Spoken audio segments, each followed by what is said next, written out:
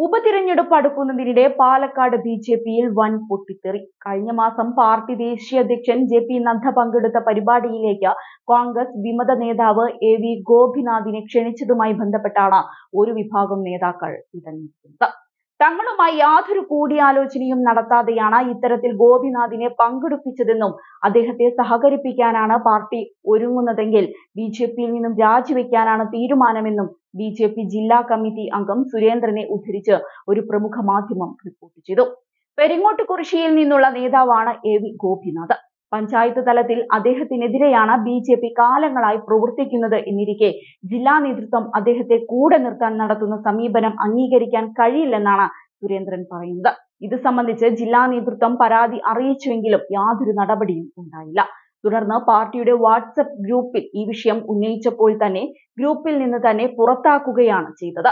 ഇതേ നിലപാടാണ് നേതൃത്വം തുടരുന്നതെങ്കിൽ പെരിങ്ങോട്ട് കുറിശിയിലെ പ്രവർത്തകർ പാർട്ടി വിടാനുള്ള കടുത്ത തീരുമാനം കൈക്കൊള്ളുമെന്ന മുന്നറിയിപ്പും സുരേന്ദ്രൻ നൽകി.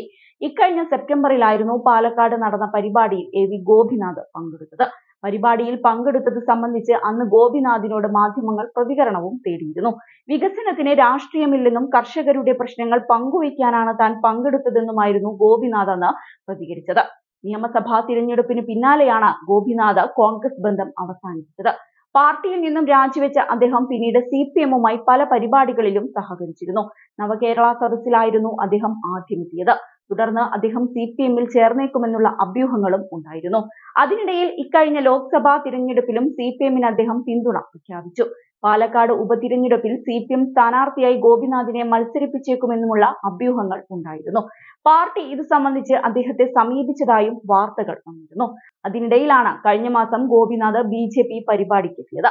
അതേസമയം രണ്ടായിരത്തി ഇരുപത്തി ആറോടെ കേരളം പിടിക്കാനുള്ള ഓട്ടത്തിലാണ് ബി ജെ പി എന്ന് പാർട്ടി സംസ്ഥാന അധ്യക്ഷൻ കെ സുരേന്ദ്രൻ ഈ അടുത്താണ് പറഞ്ഞത്.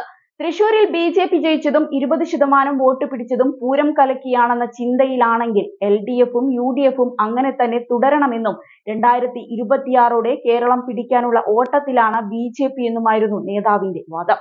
എന്നാൽ പുതിയ പൊട്ടിത്തെറി സുരേന്ദ്രനെ തന്നെ സംശയത്തിലാക്കിയിരിക്കുകയാണ്